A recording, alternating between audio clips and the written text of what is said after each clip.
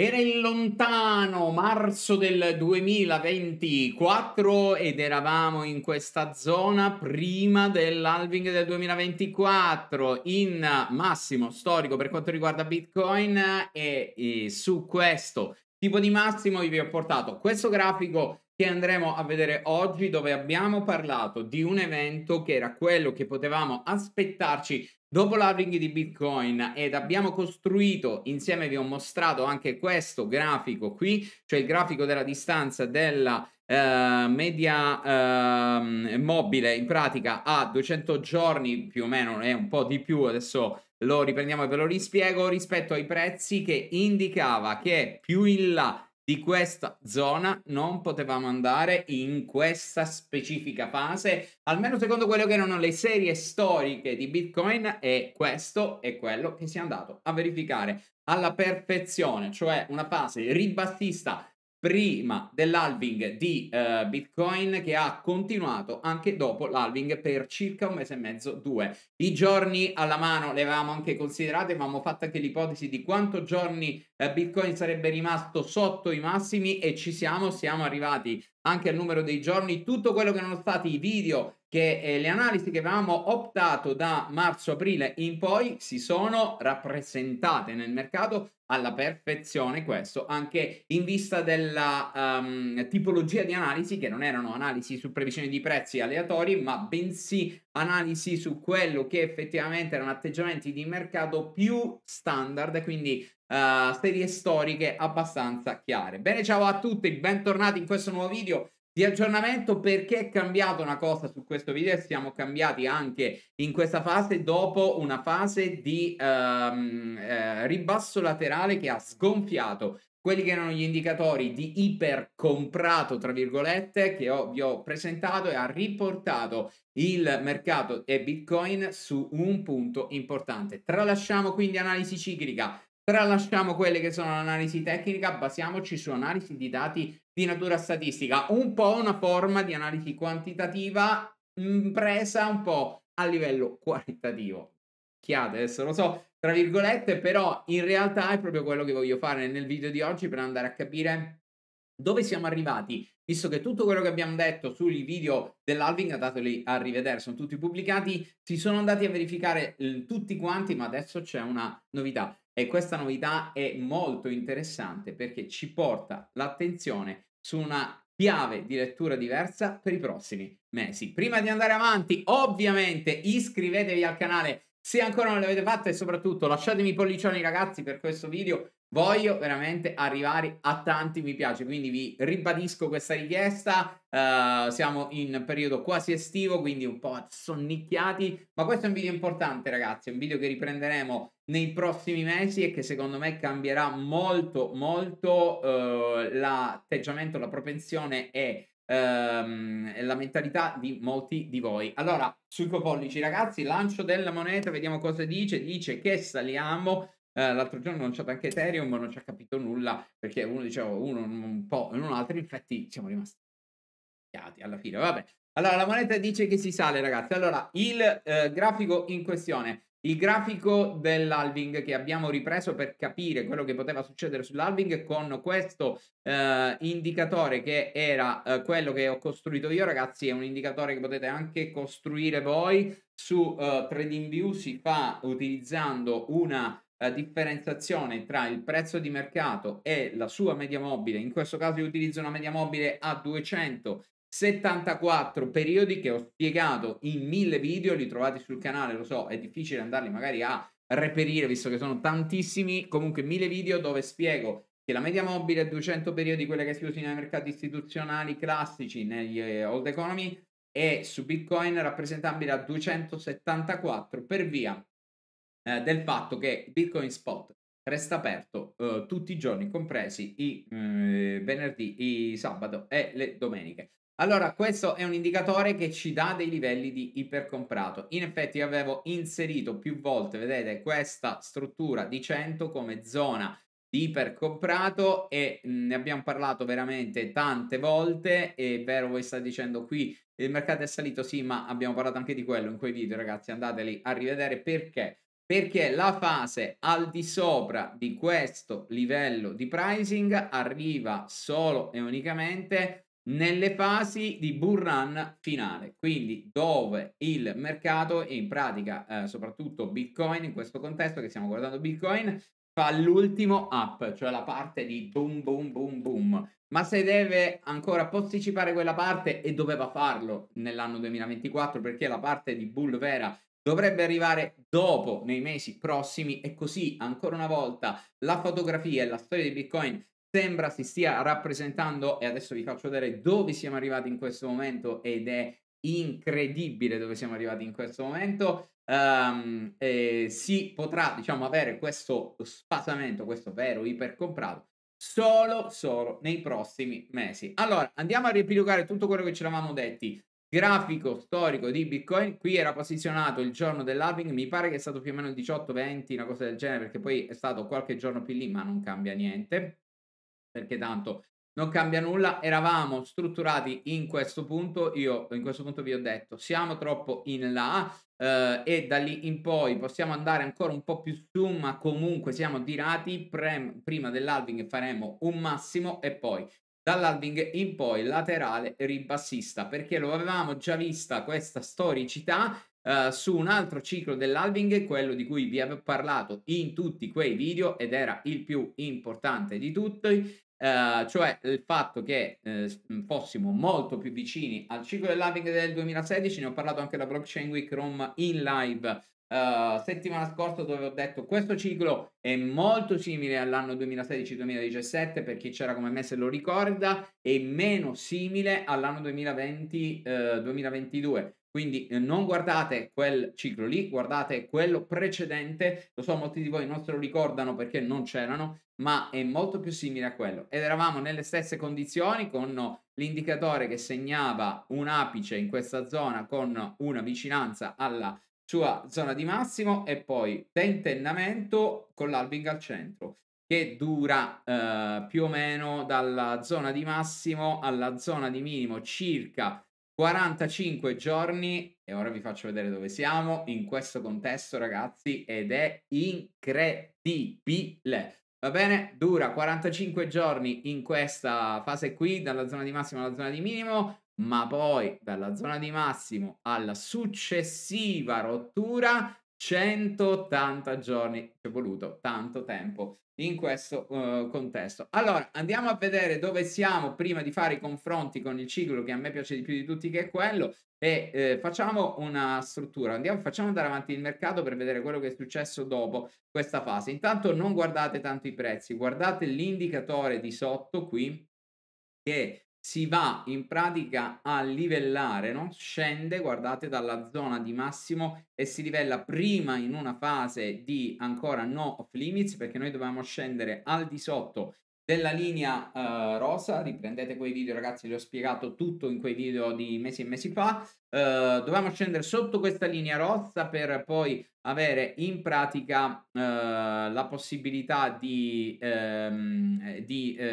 poter ritornare a una fase eh, rialzista. Da qui in poi eravamo in zona neutrale, qui ancora un ipercomprato c'era, è una fase insomma di estensione. Andiamo avanti e vediamo eh, dove siamo arrivati. Guardate sempre la, l'indicatore di sotto, ragazzi, non tanto i prezzi, guardate l'indicatore di sotto perché i prezzi hanno cincischiato sotto il massimo, ma l'indicatore si è sgonfiato. Guardatelo come sta rientrando, come è normale che sia perché la media mobile, quella blu che vedete qui, si avvicina ai prezzi mentre i prezzi non salgono ed era proprio quello che dovevamo vedere. Andiamo avanti e guardate come scendiamo tra un po' al di sotto della zona neutrale. Eccolo qui. Siamo scesi al di sotto della zona neutrale andando a toccare questo minimo in area 56 giorni che dal massimo segna una distanza di 48 giorni ragazzi. 48 giorni. Ricordiamo quello che era la, eh, lato del ciclo che vi ho fatto vedere è tutto nei miei video di eh, precedenti andateli a trovare sul canale 45 giorni tra il massimo ed il minimo di questa fase ciclica. Poi ci incischia e fa un'altra fase al di là della pendenza che sappiamo questo ciclo attuale avere una pendenza meno es- espre- eh, esplosiva ma meno volatile, quindi eh, impiega meno giorni in pratica a scendere e meno giorni a salire perché eh, in sostanza um, cioè sta più in barra di congestione, fa meno estensioni perché è meno volatile, che è normale che sia. Ragazzi, identico al ciclo del 2016. Tre giorni dopo il ciclo 2016 abbiamo fatto il minimo di questa fase. Siamo anche rientrati con l'ottica del nostro indicatore al di sotto dei 46, quindi zona neutrale. Da qui in poi Bitcoin poteva ritornare a costruire una zona laterale e ritornare a provare l'aggressione ai nuovi massimi. Qui siamo dopo l'halving eh, e soprattutto siamo a maggio, eh, andiamo a vedere cosa ha continuato a fare. Guardate sempre l'indicatore ragazzi, guardate l'indicatore e non i prezzi, guardate come l'indicatore, vedete, si è standardizzato in pratica al, intorno al livello della uh, normalizzazione, quindi della fase diciamo normale, quindi non ipercomprato. Guardate un po' come si è stabilizzato fino uh, alla fine, fino all'attuale momento, cioè è rimasto intorno a questa linea uh, rosa. Da questo punto in poi noi andiamo a calcolarci quelli che sono i giorni che sono passati per l'eventuale breakout dei massimi e teoricamente nel precedente ciclo c'erano oltre 180 giorni. Qui siamo a 85 e sono un po' pochini, però c'è anche da dire che c'è una differenza enorme perché il ciclo precedente era un ciclo che, dove avevamo avuto un impulso rialzista molto pronunciato nei eh, giorni prima in quanto eravamo a prezzi irrisori ragazzi. Da questa zona a questa zona Bitcoin aveva fatto più 66% giusto per farvi capire e dai massimi ai minimi era sceso del 40% qui è tutto ridotto perché abbiamo avuto un impulso da questa zona a questa zona del 45%, 50% e poi dal livello di eh, struttura ribassista l'abbiamo avuto di meno 20, cioè volatilità ridotta. In sostanza è possibile che a livello temporale eh, impieghi meno tempo a raggiungere i nuovi massimi, in quanto se a livello di estensione di volatilità eh, si è ridotta la volatilità, significa che i giorni eh, successivi sono di meno, servono meno giorni a raggiungere lo stesso livello. Vi faccio vedere quello che è il, um, eh, la struttura, per esempio, ecco qui zoomata un po' di più per guardarla uh, insieme. In pratica, da questa zona circa, che più o meno rappresenta il massimo, fino al touch del massimo, noi non è che qui avevamo avuto un trend ribassista, abbiamo avuto tutto il tempo un trend a rialzo. È solo che doveva recuperare un meno 40%.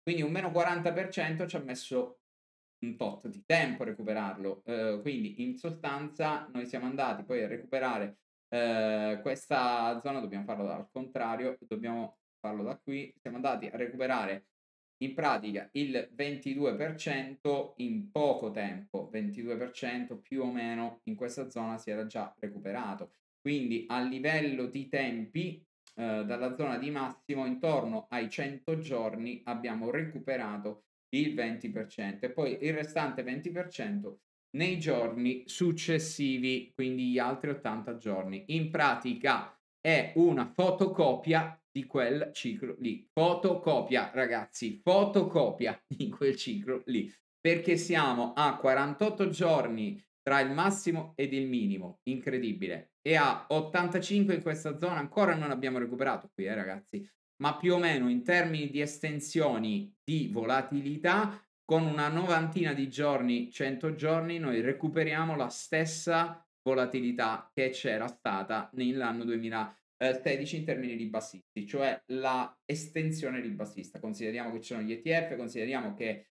L'anno scorso noi abbiamo fatto per la prima volta uno storico rialzo superiore a quello che era già avvenuto nei cicli precedenti perché abbiamo superato i massimi molto prima rispetto agli anni precedenti, quindi non mi stupirebbe se Bitcoin nei prossimi giorni tenterà di fare questo up. Anzi, come vi dico anche nei video precedenti riguardanti la ciclica e quelli che ho pubblicato in settimana, più tempo impiega a fare questa cosa, meglio è. Quindi tutto sommato attendere questi altri 10 giorni, 12 giorni se non, non lo fa la settimana prossima in pratica, sarebbe bene, sarebbe ottimo e ancora di più sarebbe l'ennesima indicazione che stiamo andando di pari passo con il ciclo del 2016 che ragazzi il 2017 fino al 2016 li eravamo poi 2017 è stata la burrana più bella di sempre per Bitcoin perché non era un gioco per pochi, era già bello attivo, in molti lo conoscevano ed ha avuto dei rialzi esponenziali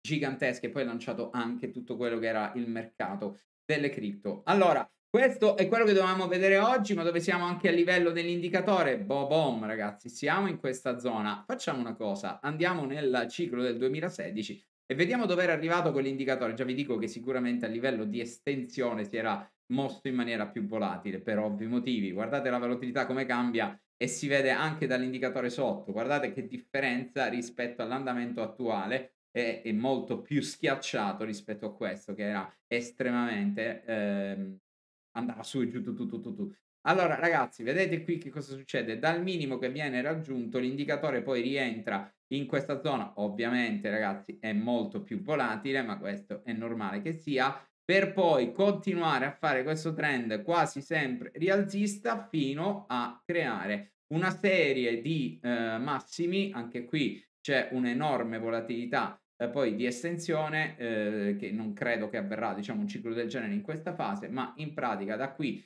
siamo scesi sotto il livello limite, dopodiché ha cincischiato, ha fatto un bel po' di giorni in barra per poi spingere a fare questo tipo di meccanismo che se volessimo Uh, ragionarlo come quello attuale magari potrebbe essere molto più schiacciato facendo una cosa di questo tipo e andando a delineare quelli che sono magari poi i livelli di massimo cioè in pratica noi seguendo questi indicatori potremmo seguire quello che magari è in fase di partenza attuale cioè una struttura che si crea in questo modo e che porta poi ai veri massimi storici di Bitcoin di questa fase che dovrebbero avvenire entro il prossimo anno. Allora ragazzi, quante informazioni e soprattutto fatemi sapere voi cosa ne pensate. Incredibile, 45 giorni, 48 giorni. Incredibile, una fotocopia. Eh, non ci credo neanche io, ragazzi, non, non ci ho creduto neanche io. A dire la verità, mi importava poco perché io sono un trend follower, quindi a livello operativo, quando vado a operare, poi comunque seguo le mie macchine, noi intorno ai 61-62 abbiamo preso posizione, quindi era quello che serviva fare,